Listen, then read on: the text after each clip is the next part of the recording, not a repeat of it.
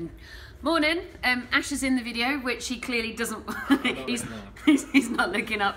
Um, okay, so this is just a silly one, but it's just to show this stuff happens. So we have got two properties we're just about to dress. Ash and I went round five buy to sales yesterday. Three were being sold, two needed to be dressed, so we're figuring out what furniture goes where. This is some of the posing kit. Um, good old IKEA bag, IKEA bag, IKEA bags just you know all the posing kit. And this one as you can see is getting slightly scruffy. So to be honest this is the last the last outing for this lamp and then it'll go into a property. But what happened?